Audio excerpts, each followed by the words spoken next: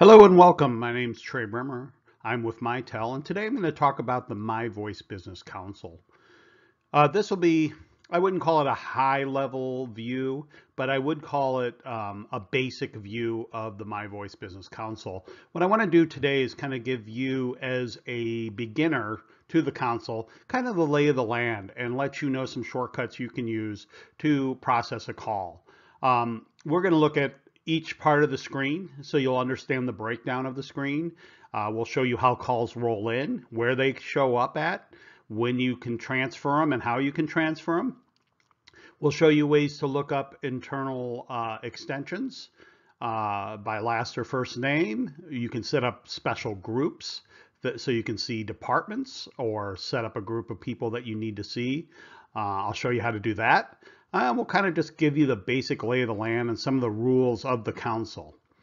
Uh, this is intended to help you after training uh, to kind of refresh yourself so you're ready to roll. Um, if you have any questions uh, or you'd like some more details uh, about how to maybe customize transfers or that or customize how a call is uh, sent, you can refer to the MiVoice Business Console guide. Uh, there's a full guide available on the console and it can answer some uh, a little more in-depth questions. So let's go ahead and get started. First of all, I want to show you this. This is the icon you'll see on your desktop. Um, if you uh, click on that, it takes less than a minute for it to load, but it does take a you know, it's not immediate, so you want to make sure that you're loading your console prior to uh, taking over the phones if you shut it off at night. If you're just taking over for somebody and it's up, then you're good to roll. Uh, this is your keyboard that you would see on your computer, and you can process all the calls without even having the screen up. It needs to be up for this to work, but um, you don't have to really click along the screen. You can answer uh, transfer, hold, or you can cancel a transfer that you've set up all by the keys on your computer, the number keys. So uh, real easy to process a call. And if you know people's extension, uh, it makes this process very easy. A call would come in, you would hit enter to answer the call. You would type in the extension uh, that you want it to go to. And if it's set up where you have to press release, which it is by default, you would hit release and it would send the call along its way. So uh, it makes it really quick if you know extensions. You can see there's a button to press hold and there's also a cancel button which means it would cancel it from transferring. So if I hit transfer and I hit the wrong extension, I can hit cancel, recover the call and start over.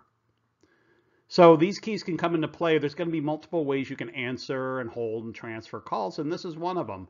Uh, this is one that's very common people use, especially if they're used to the extension range.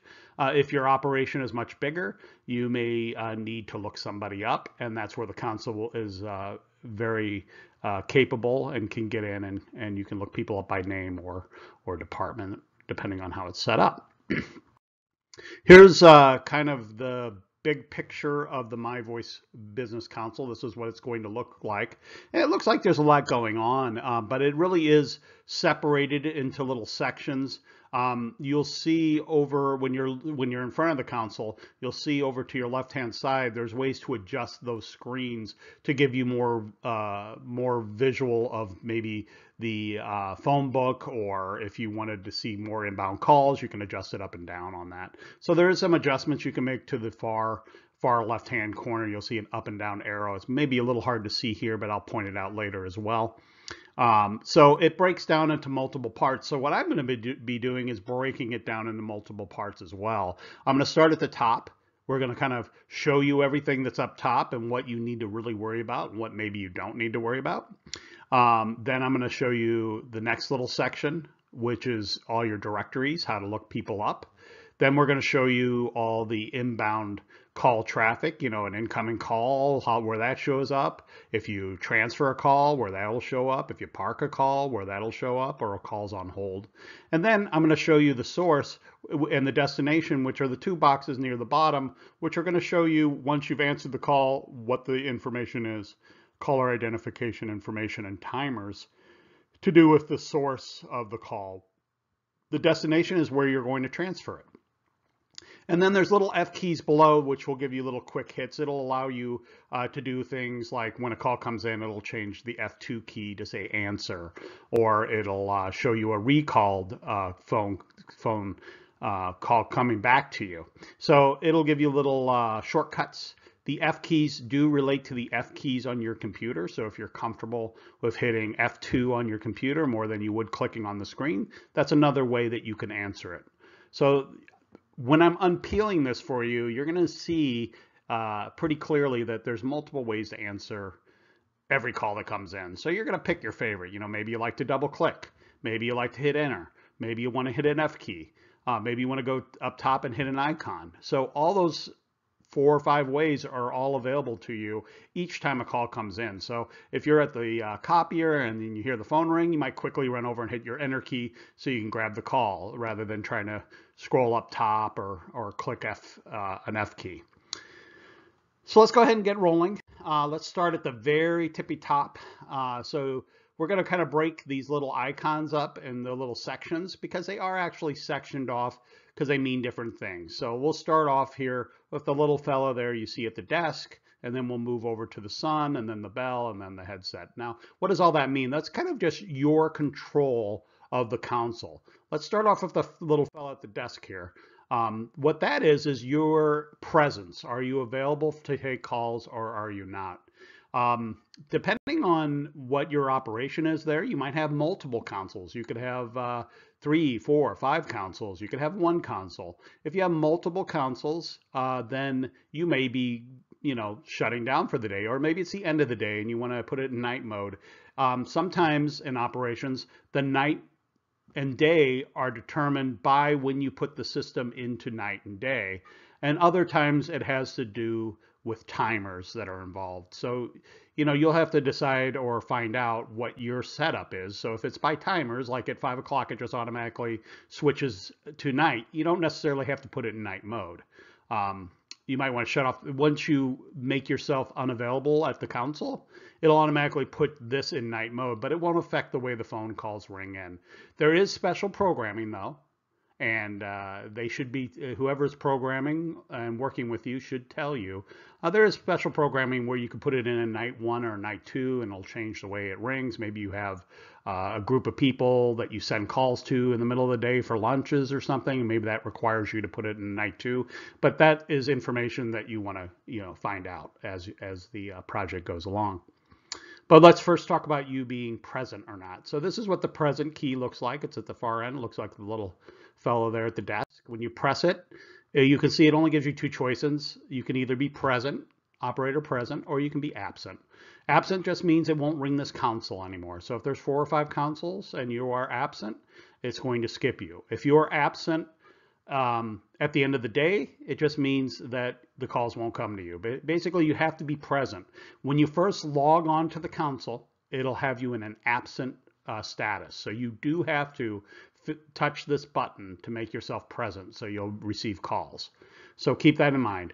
Also, you can kind of see it here um, in my little slide, but you'll see it as, as you use the console. If you hover your cursor over the button or the icon, it'll tell you what it is. So there's not a lot of mystery.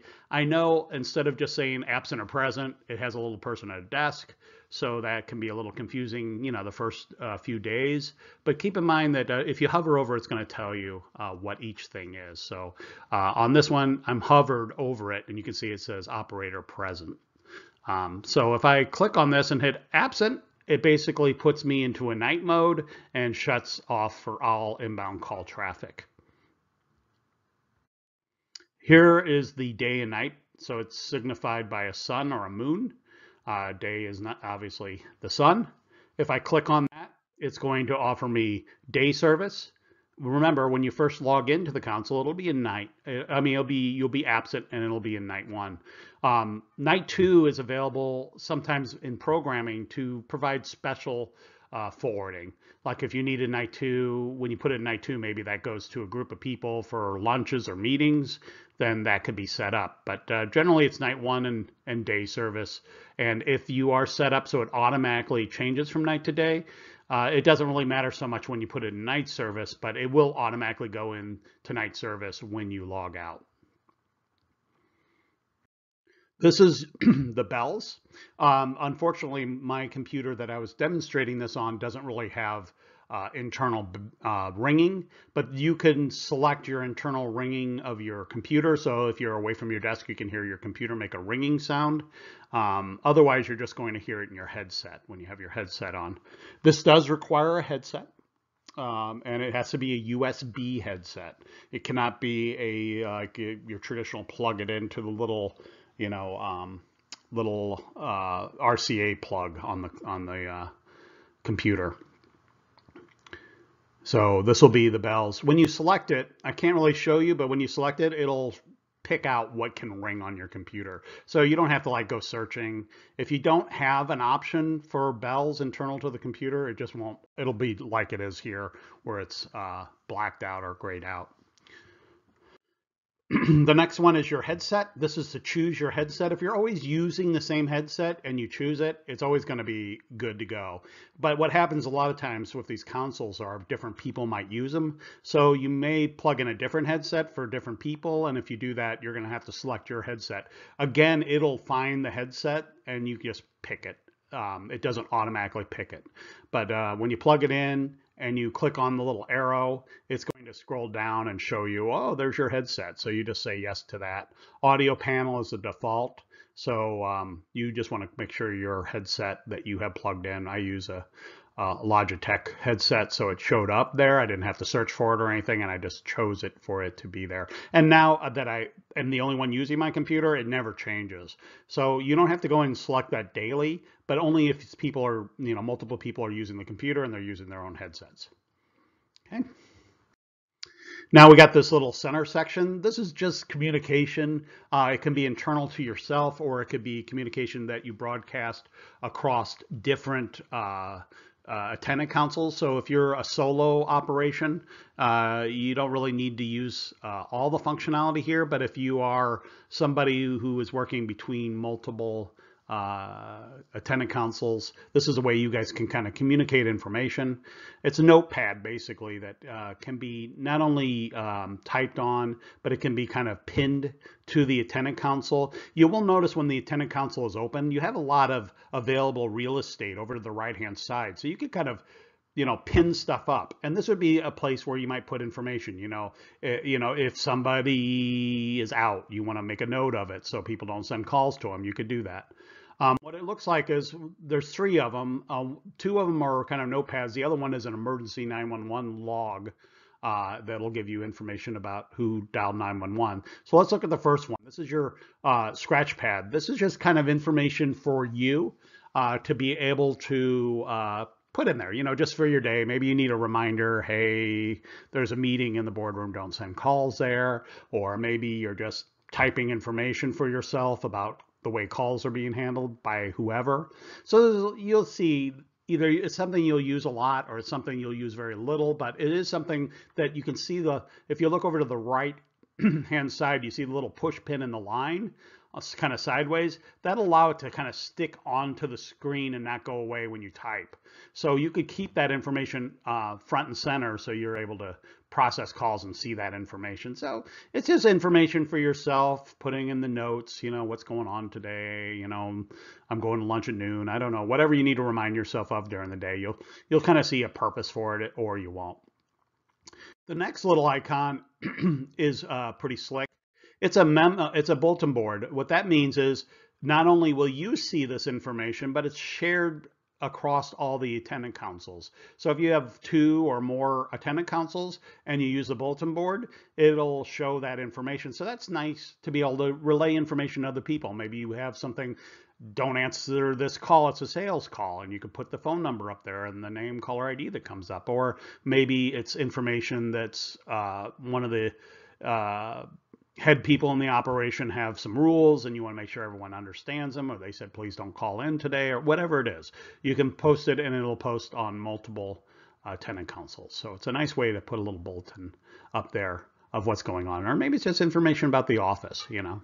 You'll see as you go along what use it is to you The next one is uh, the emergency. This is when someone it has a little red, it's like a little red cross. It's white and blue, but you get the idea. When someone calls, this will give you the time and date and phone number and detail of uh, anyone who's dialed 911. This way you can keep a log. Um, you can clear this log, so be careful not to do that. Uh, but it will uh, give you the detailed information. So if someone dials 911, it'll show up on your board. It'll give you, uh, let you know that there's an emergency going on. And that way when um, police or fire or whoever shows up, you can direct them to the right extension. So that's where that is.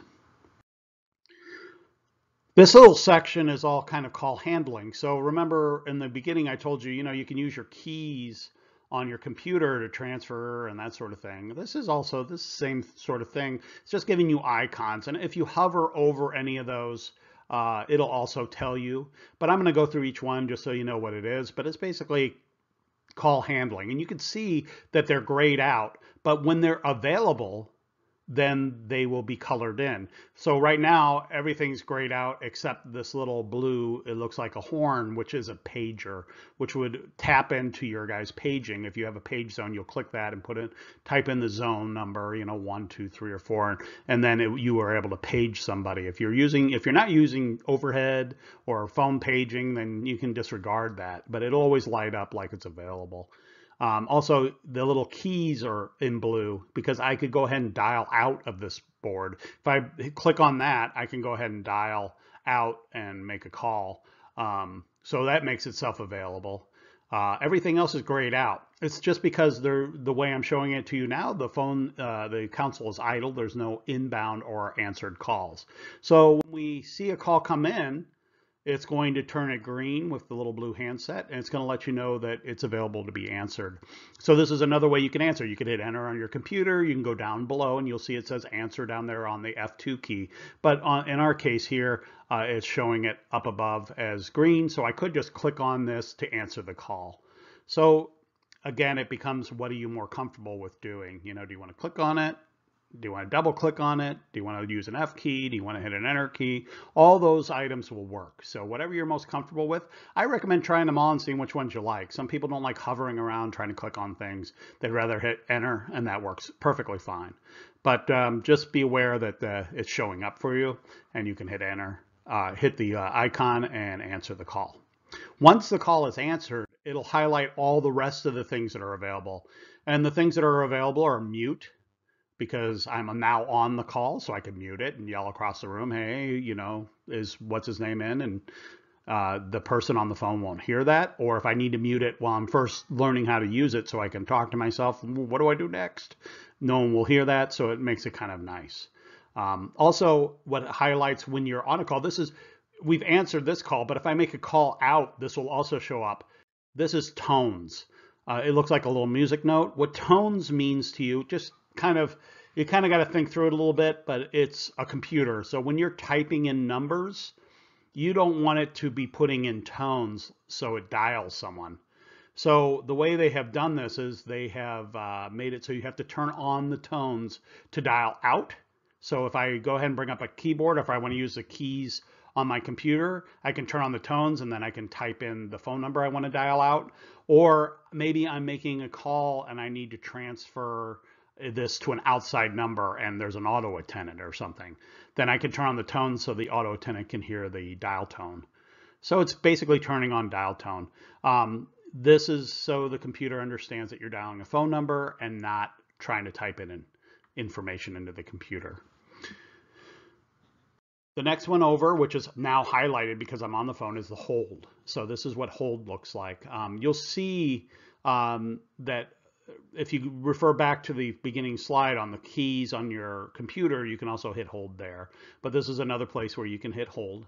Uh, it'll show up on the F keys down below. I'll show you that in a little bit, how to hold it. Uh, but there that is. This is voicemail. So if I want to transfer someone to voicemail, I could go ahead and use this uh, key. You know, I could type in the person's extension and hit the voicemail key. I can also send them straight to voicemail. So some people, uh, maybe not your operation, but some operations, people will call in, employees will say, hey, can you send me to my voicemail? If uh, this is especially common for companies that don't have direct dial numbers to the individuals. So maybe they're going to go through the receptionist and say, can you send me the voicemail? And then they can choose their own mailbox or whatever. So there's a way to transfer to voicemail. Okay. We talked about the pager key. Mine isn't lit because uh, the attendant console that I have set up here didn't have overhead paging. Uh, so nothing to do there. Plus you're on a call, so you can't page while you're on a call. So it'll be grayed out. You have to put the call on hold first, and then you can hit page and choose the, the uh, location. This is a cancel the tra uh, cancel transfer. I, I skipped um, this little arrow because the company I originally built this for um, isn't uh, using that key. Uh, it's a it's a backspace key, but um, this is a cancel transfer. This will allow you to cancel out uh, a transfer. So if I go ahead and hit um, a call comes in, I answer it, and I dial in your extension and release it. Um, if it until it's answered or goes to voicemail, I can cancel it and recover that transferred call. So if I transfer it to the wrong person, I have that amount of time and then that'll go away once it's transferred. I can't cancel it anymore. This is release. So if I go ahead and dial someone's extension, I can hit the release key and it will send the call. Uh, if you want to announce a call, all you do is dial in the extension and wait on the line. As soon as they answer and you have a conversation with the person on the other line saying, hey, there's a call for you, and when I hit release, it sends the call along. This is a correction key. This will allow you to back up if you are uh, typing in something you want to back up a little bit and correct it, you can. And then this is the keypad. This will bring up a keypad that you can dial. You can also use the keys on your telephone. Remember to turn on your tones but this brings up a little keypad. What I do like about this is I can pin this by using that little um, the little uh, push pin in the line that you see over to the right hand side and I can keep it up so I can remember you know the transfer the hold the release. So that's just like what I showed you originally. You can also set it up so it shows you the uh, numbers in order rather than like a phone. So you can choose which way you like that but that's what that looks like Okay. The little, uh, some people ask, I skip it, but this little, um, uh, if you go past the keypad before we go to the phone book, there's a, a little icon here. It's a little pyramid with a exclamation mark in it. That's just so you can report a problem. Uh, sometimes that's set up and sometimes it's not, but it'll send a report that you're having a problem uh, with your your uh, your uh, console. So you can use that uh, to uh, log reports if it's set up. So they'll let you know if you have that or not. Going below, uh, here's the different, uh, you can see it has different uh, like folders. Uh, the first one is phone book, and then you see busy lamp field, then call history, then my call history. So we're going to look at each of those. This is how you're going to look up people to transfer calls to. Um, what's really nice about it is it's separated out. The person I was using here didn't uh, have departments listed at the time, but you can do it by uh, name, first or last name, their extension number, the department name, the location name. So if you have multiple buildings, there might be multiple location names. So uh, you'll be able to look them up that way. So the way that works is you just start typing in the last or first name and it brings up all the matches. and it tells you the extension. Now I can go down and double click on these and send the call. If I put in the full name, there's only one, I can just hit enter and it'll send it. But uh, you can see that it's giving me the information that's available with the extension number. I could go ahead and put in the location if I wanted to. So if it was multiple locations that you had, maybe you had building one, two, three, and four, I could put in building one and see everybody available in building one. And then I could pick someone maybe who's off the phone. So it's a way you can look for people. If you're specifically looking for somebody, obviously the name and the extension number is going to come into play. But if you're looking for a department, like um, you're looking for payroll or something, you could put in payroll if that's listed. Uh, you can see we didn't have the departments in there yet, but I could put in payroll and bring everyone up in payroll. So that way, if a generic call came in and they said, can I talk to someone in payroll? And you didn't know who was available, you could quickly put in payroll and look for the first available person and, you know, send the call to them. okay, you can also uh, type in the phone number or the department or the location. Here's the uh, busy lamp field, uh, which is just a way for you to list everybody. It's uh, set up. This one happens to be set up uh, numerically. Uh, you can adjust it. You can go in and customize how it's set up, but you can also set up separate lists. You can see if you look over to the left, you see it says all with a star. That's the default, but there's also one I put in there as test. So I can create ones, and when I create them, um, then uh, I can go ahead and quickly go to the different uh, groups. So you, you can imagine one's all, but the other one might be, you know, IT department. The next one might be um, accounting, uh, whatever department, warehouse, I, whatever you have going on there, you could go ahead and put in as a group, and that way you can look at the whole group and see who's on or off the phone. Similar to how we were talking about looking it up by department, but you can really customize it to be whatever you want. Maybe there's people uh, you know, in different departments, you want to put them all on one or whatever. So you can, your imagination is the guide. You build them however you want. These are customized. And I'll show you how to do that here in a few minutes, but uh, that's what that looks like. All you have to do on this, when you have this available, is go to the person you want to transfer a call to and click on their name. So when you click on their name, uh, that's going to begin the transfer, and then you can release it. There is a way, if you want to go through the manual, if you just prefer to click on somebody and it sends a call and hangs up and you're ready to process the next call, that can be set up as well. So I always talk about release, but you can set up these attendant consoles so they just send the call after you either dial in the extension or click on somebody and hangs up and then offers you the next call. It really just depends on what your setup is. If your setup is where you process a call and announce it, then obviously this is the proper setup and this is the default setup. So if uh, it needs to be changed, uh, there's some, uh, you know, file, calls, directories. There's uh, you can go through the the different settings, and I'm not going to go too deep into those and, and change that. So it just depends on how you're processing calls. Um, what this doesn't show you, it shows you everyone green little phones, but it will show you presence. It'll show you when someone's on the phone by being red. It'll show you when someone's phone's ringing. So it does give you real-time um, information about if the person's available to take the call. That doesn't mean you can't transfer the call still. If you are in just sending calls, no matter if they're on the phone or not, if they're on the phone, you click the button, it'll send it to their phone. If they have two lines coming in, uh, then they will see it on the second line. They'll get the caller identification. They can make a determination if they're going to answer this call or if they're going to let it go to voicemail. So you can still process even if someone's on the call. Obviously, every organization is different. So maybe your organization says, you know, hold the call until they're off. And if that's the case, then you'll have tools to do that as well. Okay, and then there's the uh, area I was talking about with the little different phone books. You got the uh, all in there. And if I wanted to go ahead and set one up, I would go to the directories up top and go down where it says edit BLF list. And then it'll bring up this little board. Hopefully you can see it. I highlighted in yellow, but it'll give you everybody's name over on the left-hand side, and you can just add them in and name a group. I named this group test, but you can see up here it says create. You hit create, you name it. So for you, maybe you'll name it IT and then you go through and pick all the IT members and move them over to this list. And then you'll have a little side list that you can quickly access to see who's on the phone, who's off the phone, who's available, or who's in that department. Because a lot of times what happens is someone will call in and say, I want a department, not a person.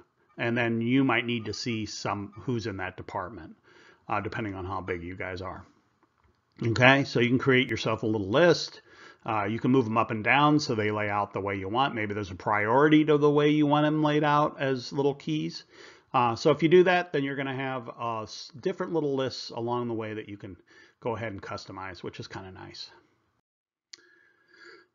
Uh, so the next uh, little thing over, I didn't, uh, on this particular one, I didn't have any call history, but it's, so I illustrated it by the little lines, but call history this will be uh, call history for all inbound calls to all consoles. It'll show up here and it starts at the newest ones will be at the top and the older ones will be down. So it'll give you name and number and where you sent it and how often they call and the type of call it was. Was it internal or was it an outside call coming in? Uh, and then who answered it, the, the console. So this is a call history for all the inbound calls uh, so you can access them if you ever need to. And then the next one over is just your call history. So it's going to be just the ones that you answered at your console. So if you answered four calls ago, something you need that number now, you'll be able to access this and see the time and the and, and all the goodies about who called in and where you sent it. Okay. So that's kind of the phone book and the lamp field. So this is the area you're going to use to look up people when you don't know their extensions or, you know, process a call pretty easily through here. Um, and uh, that's available to you. The next little area is the middle area. So we got through the top, the very top of the icons. We went through all the phone book and busy lamp field and your call histories. Now we're going to this little center section. The little center section is a place, it also has little uh, file folders or tabs that you can hit for different uh, information. And so we're going to go through each of those. So here it is. You got incoming calls, calls on hold, transferred calls, park calls, and my uh, queued calls. So these are just different ways to see what's going on. If you place a call on hold, it goes off of your incoming call board you know, and it's not going to be available anywhere. So you have to go to the actual hold calls to recover that held call. So basically, when a call comes in, it's going to show up in order under incoming calls. Uh, the top one is going to be uh, the first one in, and then you just can double click the one that's coming in to answer it. So let's look at the incoming call. Here it is. Here comes an incoming call. That's me, of course. And then um, I could go ahead and double click on this name and answer it if I don't want to hit the answer key on my computer, or I don't want to go up top and hit the icon, or I don't want to go down below and hit the F key, then I could just hit it here by double clicking. Some people really like double click. So uh, if you are using the double click, there you go. Uh, so that's what it looks like. It says one, and then the next one will be two, three, four, five. It's an order of the uh, order they came in, so you know how to process them. Um, it tells you the line, the caller identification. Now, once I answer it, it goes away from the incoming call. It'll go somewhere else. It goes below, so I'll show you that. But right now, knowing I, it hasn't been answered, it's just giving me that list. The next thing is calls on hold. So when I place a call on hold, uh, it'll give me the timer of how long they've been on hold. It does recall to you, and th th that timer is set up when, by design. So I don't know what your specific one will be. I could put a note here. I could click in a note. This is a sales call or whatever it is. I could put in a note who it's holding for, you know, so I can process it and remember. Uh, so I could put in little notes by clicking on the little box and, and typing in goodies. Uh, but these are uh, your, your held your held calls list. So if you hold a lot of calls in your organization, this is where you can go to them to recover them. To recover them, I'm just going to double click and I will have the call back. Transferred calls, these are only going to show up uh, while the call is ringing to the person I transferred it to or uh, until it goes to voicemail.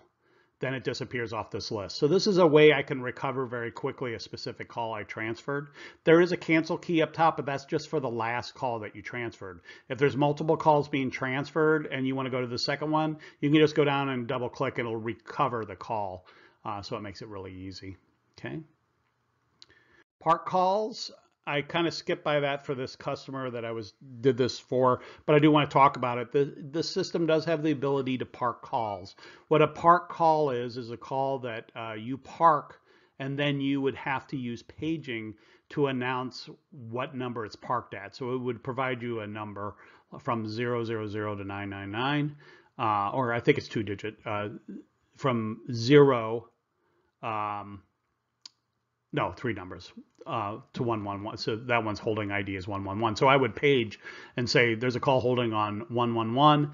They would go to their phone where they have a park retrieve button. They can hit park retrieve and put in the code and grab the call. So not everyone has this uh, feature for the parking, but it is available. And then this, what I have up here is calls queued. This is your activity, you know, what all you have going on. The call, the call timers, it just gives you a listing. So you can have a one glance. this is the source and the destination. This is once you've answered the call, it'll show up in the source. So you can then process that call. So you can look at the box and understand what call you're on. And then the destination is where you transfer it to. And it'll show there again until the call you process another call or until the call goes to voicemail. If you've already processed a call and you need to check on a call you transferred earlier, then you have to go to the transferred uh, tab up here to see all those calls. So this is just the latest thing you've done. Let's look at that. Here comes the inbound call. You can see it's under source and it'll tell you information. You can scroll up and down. It does give you other information and you do have a place to click in notes. Um, so here's a device. It just tells you what line that's you. That's me, the attendant console. It shows me the caller ID, name, and number. So you can see that I've answered this, and you can see down here these F keys have provided little. It's kind of hard to see because it's a little stretchy, but there's a mute here if I use F6 or if I click on the button that says F6. I can um, uh, park the call. I can turn on my tones. So you can do some of the same functionality that you did. We're going to do up top uh, through these little buttons. And then, um, well, I didn't show you the destination, but the destination is the other box, so you can see the call go. So down below here are those F keys I was telling you about. Let's look at those real quick. Here comes a call. You can see that it, it turns green and offers you answer on F2. It doesn't normally say answer until the call comes in. Then I could hit these F key. So you, again, there's multiple ways for you to peel this. I could go up here, double click on the name, or I can go down below, hit answer, I can hit enter, I can go up top and hit the icon. So that's the way it looks. Once you've answered the key, the uh, phone, it no longer says answer. So that's what I have. Uh, I want to thank you for joining. Hopefully this gives you a quick refresher on how this all lays out. And uh, good luck on your new console. There are um, there will be a full manual and guide that's out there. If you haven't received it, uh, make sure you reach out uh, to whoever's working with you uh, to uh, install your phone system so they can make sure they get you those those that information. And I thank you very much for your time.